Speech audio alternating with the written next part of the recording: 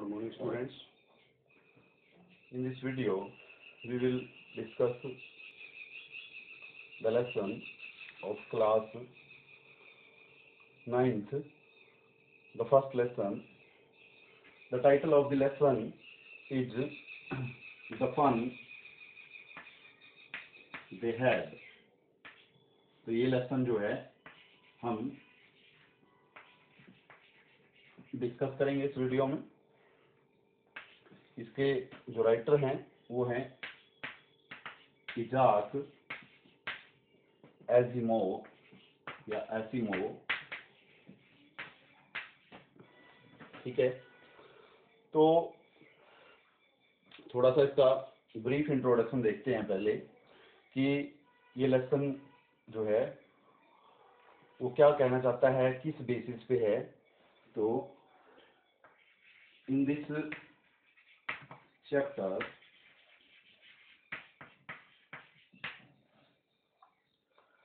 the writer.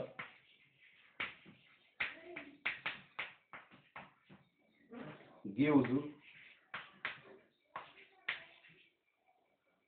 The writer gives an idea of the kind of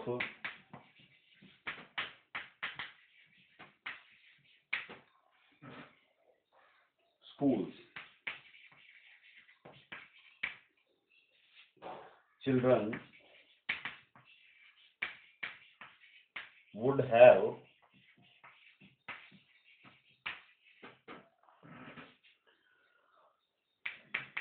in the future. तो ये थोड़ा सा introduction है कि इस चैप्टर में, इस अध्याय में the writer gives an idea कि लेखक जो है, वो एक विचार प्रकट करता है, एक विचार जो है, वो देता है of the kind of schools विद्यालयों के जो प्रकार हैं, उनके बारे में, या उनका एक विचार जो है, वो यहाँ पे प्रस्तुत करता है children would have in the future कि बच्चों के पास जो विद्यालय भविष्य में हुआ करेंगे, या भविष्य में किस तरह के विद्यालय जो है, वो हमारे पास हुआ करेंगे, इसका जो है इसमें, इस लेसन में हमें थोड़ा सा आइडिया लगता है। अब लेसन जो है, वो कौन सी सन में सेट है? लेसन जो है 2157 में सेट किया गया है। इक्कीस ईस्वी में सेट किया गया है। और ये इक्कीस का हमें कहाँ से पता चलता है? इसमें जो है, हमारे पास दो मेन कैरेक्टर हैं। वो है मार्गी और टॉमी। ठीक है? ये दो जो है चिल्ड्रन हैं, दो बच्चे हैं और इन दो बच्चों के थ्रू जो है लेखक हमारे पास या हमें जो फ्यूचर के स्कूल होंगे, उनके बारे में बताता है कि वो कैसे होंगे और जो फ्यूचर के स्कूल होंगे, वो बच्चे उस फ्यूचर के स्कूलों के बारे में, उनकी क्या ओपिनियंस हो गए, ये हमें जो है इस लेसन से पता चलेगा। उसके बाद हम लेसन को स्टार्ट करते हैं कि लेसन जो है वो कहाँ से स्टार्ट होता है। थोड़ा सा आइडिया जो है वो आप लोगों को भी लग गया होगा कि इस लेसन में जो है वो क्या है हमारे पास। अब लेसन स्टार्ट होता है on the night of seventeenth May 2057 अब 17 मई उन इक्कीस की जो रात है, उस रात को जो मार्गी है मार्गी मैंने अभी बताया, एक स्टूडेंट है और 11 ईयर ओल्ड है वो 11 वर्ष की एक स्टूडेंट है या चाइल्ड है, ये कह सकते हो आप। तो made an entry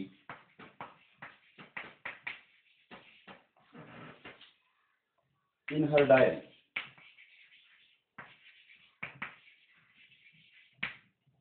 अब मार्गी जो है, मार्गी ने 17 मई इक्कीस की रात को अपनी जो डायरी थी वो जो डायरी लिखती थी या फिर वो कंप्यूटर में फ़ीड करती थी अपनी डायरी तो उसमें उसने एक एंट्री डाली। वो एंट, उस एंट्री में वो क्या कहना चाहती है? She wrote today Tommy found a real book. तो ये एंट्री जो है, उसने डाली और ये उसने लिखा। तो इस बात से हमें पता क्या चलता है? सी रोट उसने लिखा today Tommy found a real book कि आज टोमी को एक वास्तविक किताब जो है, वो मिली। तो इसका मतलब क्या है? वास्तविक किताब का। वास्तविक किताब का मतलब ये है, जो इस समय हमारे पास किताब है, वो उनके लिए वास्तविक किताब है, क्योंकि उनके पास किताबें नहीं है। उनके पास टीवी स्क्रीन है या कंप्यूटर स्क्रीन है, और वहाँ पे अक्सर जो है, वो चलते रहते हैं। वो एक जगह पे स्टैंड स्टिल नहीं रहते, जैसा कि हमारी किताबों के अंदर रहते हैं। तो उसके बाद वो कहती है कि it was a very old book यह एक बहुत पुरानी किताब थी। It was printed printed on paper कि यह जो है कागज़ पर छपी हुई थी, कागज़ पर छपी हुई थी, जैसे कि हमारे पास अभी इस समय किताबें हैं, वो कागज़ पर ही छपी हुई होती हैं। लेकिन उनके लिए, क्योंकि वो फ्यूचर के बच्चे हैं तो फ्यूचर के बच्चों के लिए वो जो है एक आश्चर्य है, वो किताब जो है। उसके बाद आगे चलते हैं, और साथ के साथ जो वर्ड मीनिंग मैं बताता हूँ, वो आप जो है लिखते रहा करें।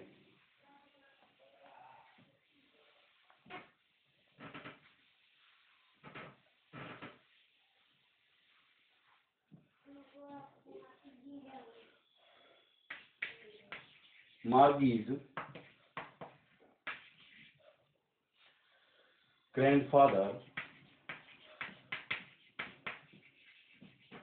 अब उस किताब के बारे में बता रहे हैं कि Margie's grandfather had once told Margie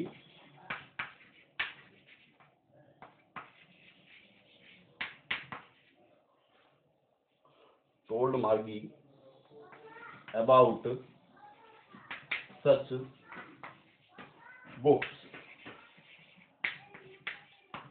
अब मार्गी के जो दादाजी हैं, उन्होंने इस तरह की किताब के बारे में जो है, मार्गी को एक बार बताया था क्या बताया था उन्होंने he said that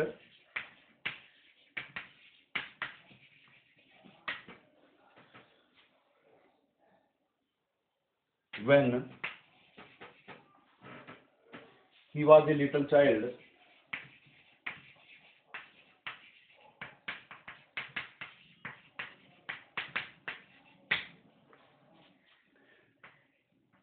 when he was a little child his grandfather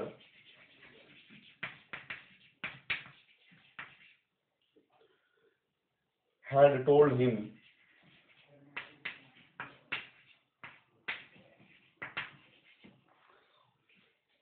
Had told him of a time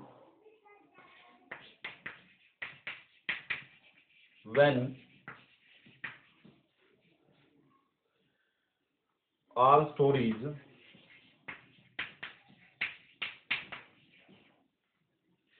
were printed on paper.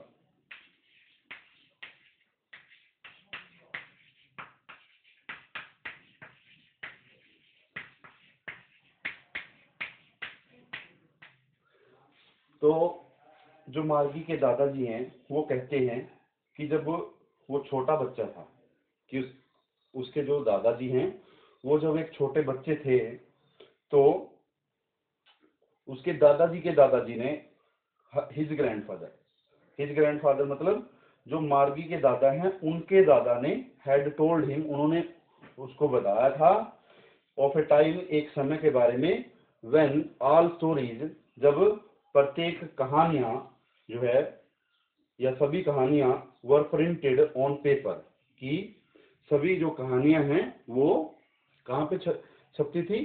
कागज़ पे छपती थी पेपर पे छपती थी। तो यहाँ पे वर्ड मीनिंग मैं साथ के साथ बता रहा हूँ प्रिंटेड का मतलब छपाई होता है, छापना होता है पेपर का मतलब होता है कागज़। तो ये चीज़ आपने ध्यान में रख लेनी है। उसके बाद फिर थोड़ा सा इंट्रोडक्शन जो है, वो लेखक हमें टोमी और मार्गी का देता है। अब टोमी कौन है? टोमी उसके नेबरहुड का ही एक बच्चा है। Tommy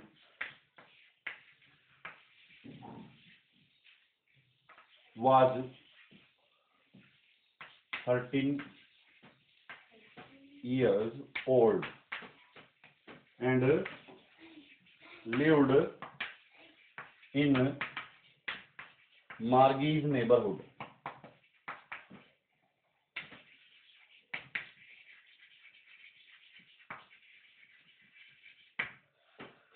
अब टॉमी जो है वो तेरह वर्ष का बच्चा है और मार्गी जो है ग्यारह वर्ष की है और मार्गी के ही पड़ोस में जो है वो रहता है और जिस दिन उसको किताब मिली वो दैट डे उस दिन, इस दिन सत्रह मई इक्कीस को that day he had he had come to Margie's house.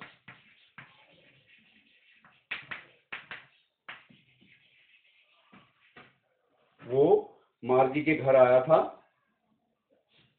And shown her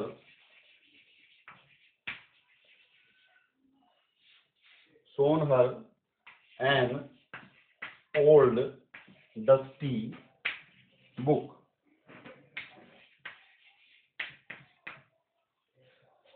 अब वो उस दिन जो है, मार्गी के घर आया था और उसको क्या दिखाया उसने? शोन हर मार्गी को दिखाया उसने एक पुरानी जो धूल धूल से भरी हुई किताब है, वो उसने उसको दिखाई। ये उसको कहाँ पे मिली?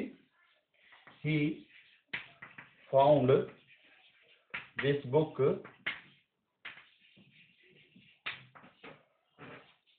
this book in the attic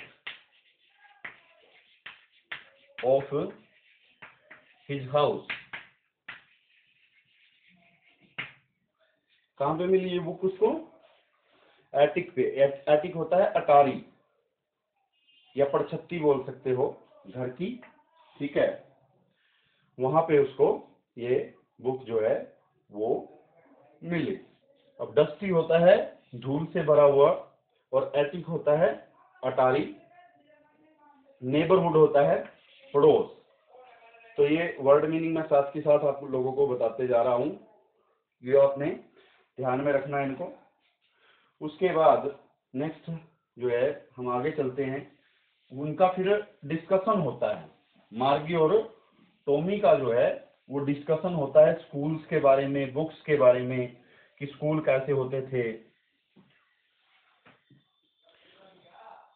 तो दी the two children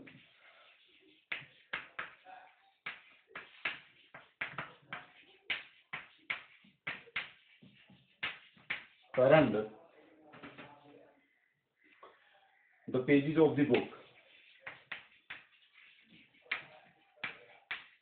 pages of the book अब ये जो दोनों बच्चे हैं वो किताबों के जो पन्ने हैं पेजेस हैं, उनको पलटते हैं, मोड़ते हैं। टर्न का मतलब होता है मोड़ना या पलटना। तो वो उसको पलटते हैं आगे आगे उसको फॉलो करते जाते हैं। The page is the page is were yellow and wrinkled अब जो पन्ने हैं, वो पीले हैं और रिंकल्ड हैं। रिंकल्ड मतलब जैसे कि बूढ़ा होने के बाद चेहरे पे झुर्रियाँ आ जाती हैं, वैसे ही किताब जब लंबे टाइम तक पड़ी रहती है तो उसमें भी उसी तरह से झुर्रियों की तरह से वो बीच बीच में पन्नों पे थोड़ी सी रिंकल आ जाती हैं, झुर्रियाँ सी आ जाती हैं। इसीलिए जो पन्ने थे किताब के, वो रिंकल्ड हो गए थे। उनमें झुरियाँ आ गई थी। उसके बाद the words the two children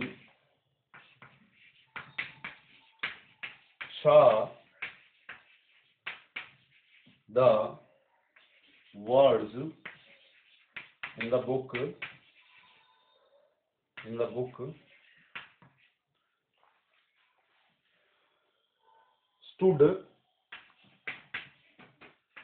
still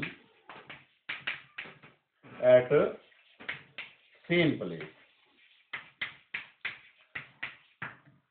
अब वो दोनों बच्चे जो है, ये देखते हैं कि जो शब्द हैं उस किताब के अंदर, जो शब्द लिखे हुए हैं वर्ड लिखे हुए हैं, वो स्टूड स्टिल हैं, वो एक जगह पे रुके हुए हैं, खड़े हुए हैं एट सेम प्लेस एक ही स्थान पर। मतलब कि जहाँ पे उस किसी भी शब्द को छाप दिया गया, वो वहाँ से हिलेगा थोड़ी ना। लेकिन वो ऐसा क्यों सोच रहे हैं? वो ऐसा इसीलिए सोच रहे हैं क्योंकि वो कंप्यूटर स्क्रीन से पढ़ते हैं और कंप्यूटर स्क्रीन पे जो है, वो शब्द एक जगह पे नहीं रुकते। एक बार आने के बाद जब स्टूडेंट उसको पढ़ लेता है तो वो गायब हो जाते हैं वहाँ से। इसीलिए वो कह, यहाँ पे ये कह रहे हैं कि उनको जो है, वहाँ पे इस चीज़ को देखकर आश्चर्य हुआ। उसके बाद आगे चलते हैं। टर्न का मतलब मैंने बताया था, पलटना। रिंकल का मतलब है झुरियाँ पड़ना और स्टूड स्टिल का मतलब है एक जगह पर ठहरना। उसके बाद जो है they did not move these words did not move like the words of television screen. अब ये जो शब्द हैं, ये जो शब्द इस किताब में लिखे हुए हैं, वो इसकी तरह किसकी तरह कि जो ये बाकी जो दूसरे शब्द हैं, उन शब्दों की तरह जो टेलीविज़न स्क्रीन पे शब्द होते हैं, उन शब्दों की तरह आगे पीछे नहीं होते मूव नहीं होते, हिलते नहीं हैं। जैसे टेलीविज़न स्क्रीन पे टेलीविज़न का जो पर्दा है उस पे हिलते हैं, या फिर कंप्यूटर स्क्रीन पे वो हिलते हैं। It appeared to children something funny अब इन बच्चों के लिए जो है, ये शब्द जो है, वो थोड़ा सा मज़ाक हो गए हैं। उससे उनको थोड़ा सा आनंद आता है इन शब्दों को देखकर कि वो जो है, एक जगह पे ठहरे हुए हैं। उसके बाद टोमी जो है वो कहता है Tommy said, What a waste.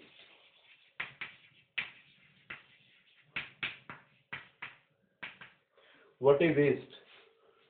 What a waste किसको कह रहा है Tommy Tommy what a waste कह रहा है बुक को क्यों कह रहा है बुक को वो what a waste what waste इसीलिए कह रहा है कि one could throw it after reading it after reading it कि कोई भी व्यक्ति जो है वन कुड थ्रो कि इस किताब को फेंक सकता था आफ्टर रीडिंग इट उसको पढ़ने के बाद। अब वो पढ़ते हैं कंप्यूटर स्क्रीन से।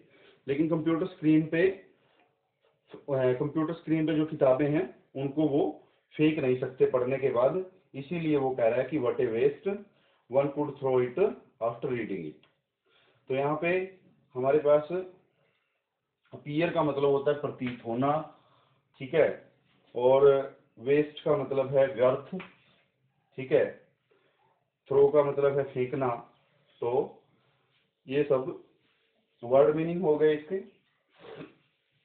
उसके बाद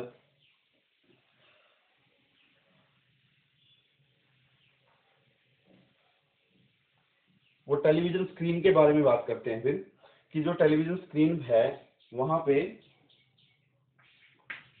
on television screen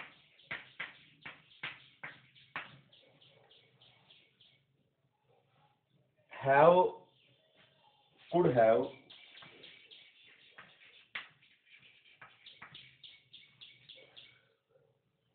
millions of book. Million of books. कि जो टेलीविज़न स्क्रीन है, उसके ऊपर या उसके अंदर जो है, लाखों की संख्या में जो है मिलियन क्या होता है? मिलियन होता है दस लाख तो दस लाख की संख्या में जो है किताबें हो सकती हैं। मिलियन होता है दस लाख। उसके बाद, और वो फिर टोमी ये भी कहता है, दस, one, could not couldn't throw it तो इसी वजह से कोई भी उसको फेंक नहीं सकता। किसको नहीं फेंक सकता? टेलीविज़न स्क्रीन को नहीं फेंक सकता, क्योंकि वहाँ पे लाखों की संख्या में जो है किताबें उसके बाद जो है टोमी बुक्स के बारे में तो उनकी बातचीत जो है वो हो ही रही है। उसके बाद वो स्कूल के बारे में बात करते हैं कि स्कूल जो है वो कैसे हुआ करते थे उस समय। तो मार्गी के बारे में हमें थोड़ा सा पता चलता है यहाँ से कि जो मार्गी है, वो स्कूल से हेट करती है। Margie failed to understand Margie failed to understand what Tommy said अब टोमी ने जो किताब के बारे में कहा कि वो उसके पेजों को जो है, मोड़ सकते हैं, आगे पलट सकते हैं और उस पर जो है वर्ड्स जो है स्टैंड स्टिल हैं, वो रुके हुए हैं मूव नहीं करते। तो इस तरह की जो बातें कहीं तो मार्गी जो है, उनको समझने में, जो टॉमी ने कहा, उसको समझने में वो फेल हो गई। फेल हो गई मतलब एसफल रही। She did not think there was anything to write about school अब स्कूल के बारे में क्या बात हो रही है कि एक किताब जो है, वो स्कूलों के बारे में, जो जो किताब उनको मिली है, वो स्कूल के बारे में लिखी हुई है, कि स्कूल कैसे होते थे। उस किताब के अंदर ये लिखा हुआ है। She did not didn't think there was anything to write about school अब मार्गी जो है, वो ये समझने में, इससे पहले टॉमी ने एक बात कही है। मार्गी को कि ये जो किताब है वो स्कूल